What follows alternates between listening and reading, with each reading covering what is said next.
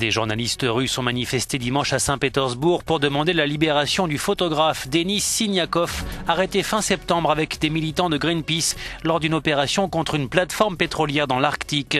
Poursuivi pour piraterie, il risque jusqu'à 15 ans de prison.